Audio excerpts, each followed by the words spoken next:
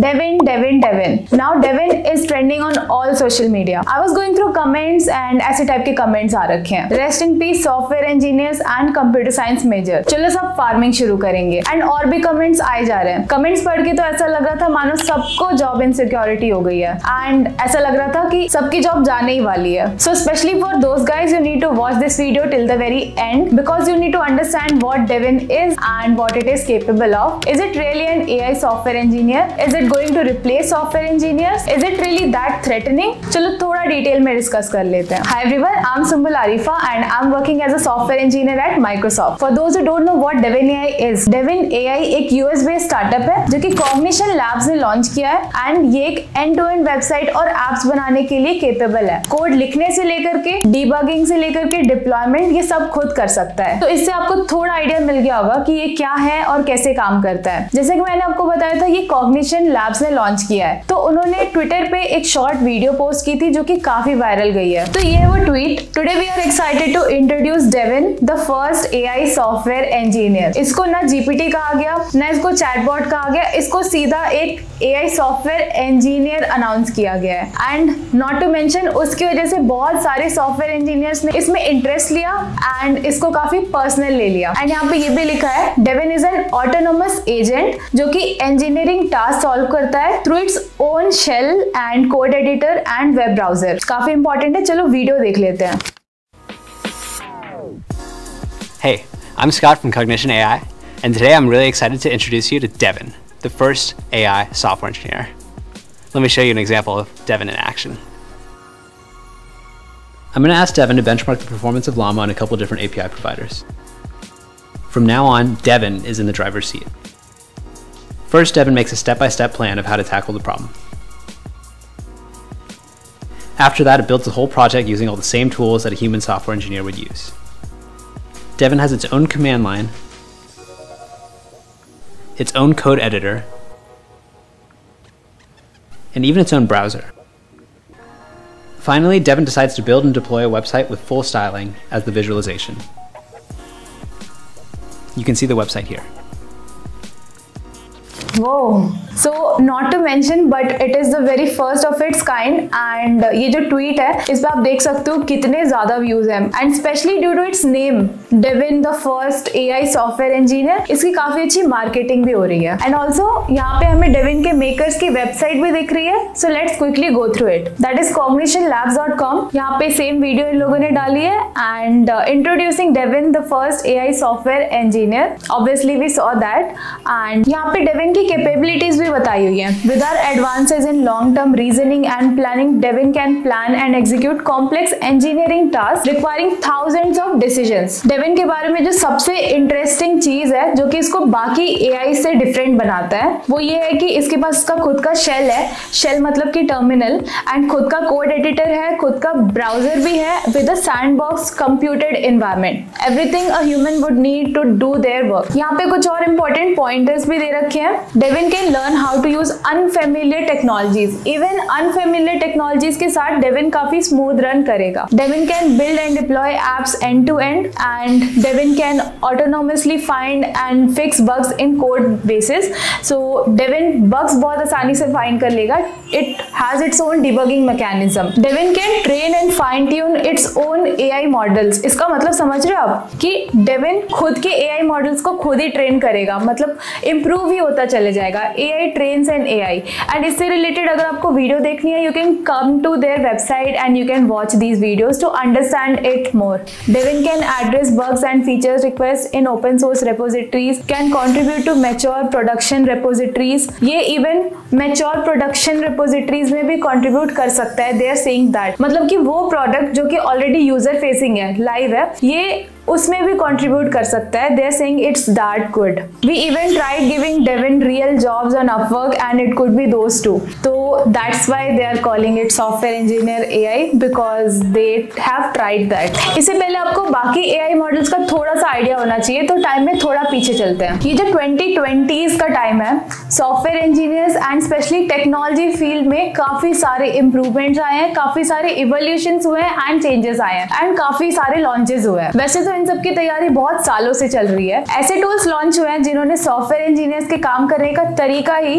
पूरी तरह से बदल दिया है। पहले हम खुद कोड लिखते थे लाइन बाय लाइन एंड कहीं अगर एरर आ जाए तो हम घंटों डिबग करते थे या फिर हम गूगल सर्च करते थे एंड टॉप पे एक वेबसाइट आती थी स्टैक ओवरफ्लो डॉट कॉम तो स्टैक ओवरफ्लो पे हमें ऑलमोस्ट सारे आंसर्स मिल ही जाते थे, लेकिन उसमें भी हमें काफ़ी दिमाग लगाना पड़ता था, क्योंकि वहाँ पे लोग डिस्कस कर रहे थे अपने प्रोजेक्ट के बेस पे एंड हमें उसमें पर्सनलाइज करके अपना सोल्यूशन ढूंढना होता था। बट फिर आया चैट जीपीटी जिसको आते ही काफ़ी ज़्यादा पॉपुलैरिटी मिल गई। इसके आते ही एक वीक के अंदर इसने 100 मिलियन यूज़र्स साइन अप कर लिए थे। एज अ रिज़ल्ट सबने इसको अडेप्ट किया एंड इसको यूज़ करना स्टार्ट कर दिया। बहुत सारे ए आई बेस्ड स्टार्टअप्स खुले बहुत सारी कंपनीज़ ने अपना खुद का ए आई लॉन्च किया एंड बहुत सारी कंपनीज़ ने A I based integrated chatbots लगाए। ऑलमोस्ट हर इंजीनियर ने एंड इवन इंजीनियरिंग स्टूडेंट्स ने जीपीटी को अडेप्ट कर लिया। इसको काफ़ी अच्छे से यूटिलाइज किया। It has been very helpful and interesting for all of us इसको सॉफ्टवेयर इंजीनियर्स तो अपने डे टू डे लाइफ में यूज़ कर ही रहे हैं। एरर्स फाइंड करने के लिए टेस्ट केसेस लिखवाने के लिए एंड ब्रेन करने के लिए एंड और भी बहुत सारे रीजन के लिए. बट इसको स्टूडेंट्स भी काफ़ी एक्सटेंसिवली यूज़ कर रहे हैं. प्रोजेक्ट्स बनाने के लिए असाइनमेंट्स बनाने के लिए एंड इंटरव्यूज़ की प्रिपरेशन करने के लिए, या फिर किसी टेस्ट की तैयारी करने के लिए. तो मैंने अभी तक जिसकी बात की, वो था जीपीटी 3.5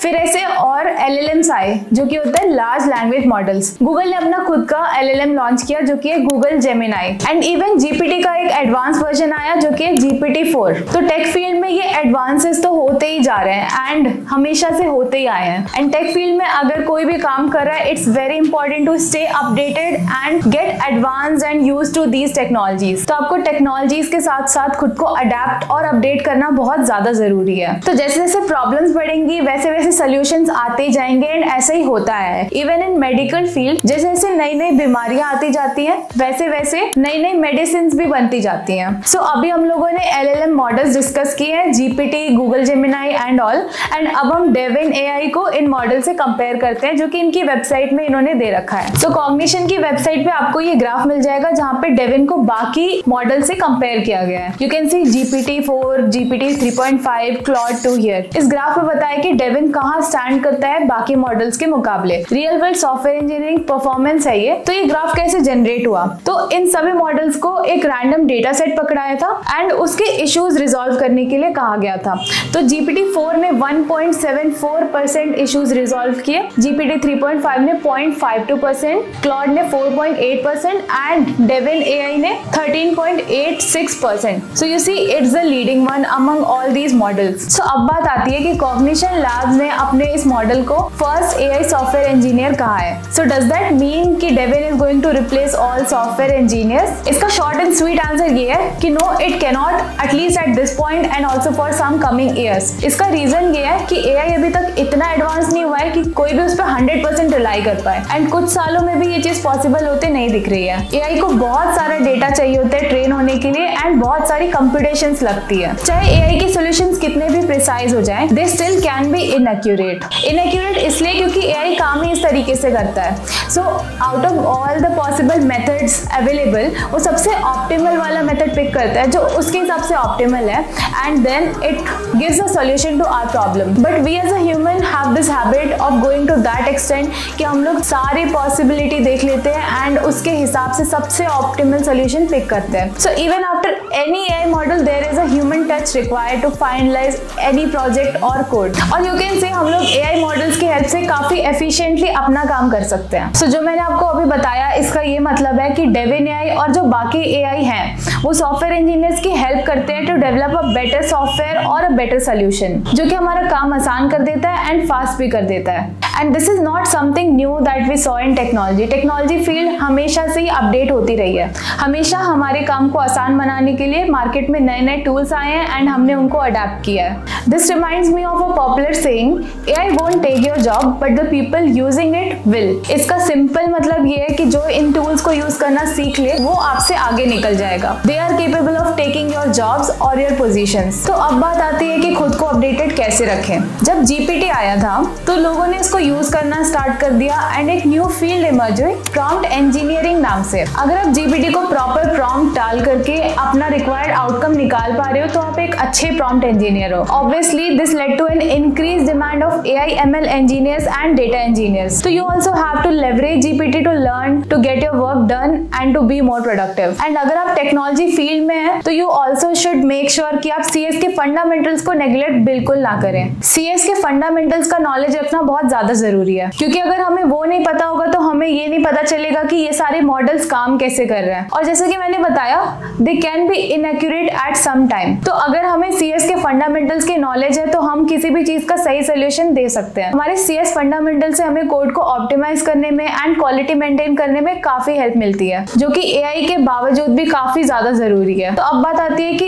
इन सब का जॉब्स पे क्या इम्पैक्ट होगा? क्या जॉब्स कम होंगी? अभी हम लोगों ने देखा कि रिसेशन आया था एंड बहुत सारे लोग ले ऑफ़ हुए। तो यस जॉब्स तो कम होंगी। स्पेशली जो डायरेक्ट इम्प्लीमेंटेशन वाली चीज़ें हैं, जैसे कि S T M L C S S JavaScript use करके कुछ बनाना है तो उस टाइप की जॉब्स तो काफ़ी कम होने वाली है। लेकिन इसमें एक कैच है। New technologies bring new opportunities मैंने जैसे कि आपको बताया, बहुत सारे ए आई बेस्ड स्टार्टअप्स खुले। एंड न्यू जॉब्स आई भी जैसे कि prompt engineering and prompt ethics की भी जॉब आई। इसमें लोगों की ड्यूटी होती है कि वो मेक श्योर sure करें ए आई फेयरनेस से काम कर रहा है एंड सारे एथिक्स फॉलो कर रहा है। तो कुल मिला के बात ये हो जाती है कि हमें थोड़ा सा स्किल सेट चेंज करना पड़ेगा न्यू चीज़ें अडेप्ट करनी पड़ेंगी, अपने काम करने का तरीका थोड़ा सा चेंज करना पड़ेगा, हमें इन सब चीज़ों का लेवरेज करना पड़ेगा ताकि हम लोग बाकी लोगों के साथ कॉम्पिटिशन में रहें, उनसे पीछे ना जाए। एंड साथ ही साथ फंडामेंटल यानी कि बेस बहुत ज़्यादा इंपॉर्टेंट है। तो अपने स्किल सेट्स को ऐसे इंप्रूव करो कि कोई भी कोड आपको दिया जाए तो आप उसका लॉजिक समझ पाओ, उसके कॉन्सेप्ट आसानी से समझ पाओ। एंड साथ ही साथ कोडिंग असिस्टेंट का यूज़ करके अपना टाइम सेव करो। तो इस तरह से अपनी स्किल्स को अपडेट करके हम न्यू चैलेंजेस को फेस कर सकते हैं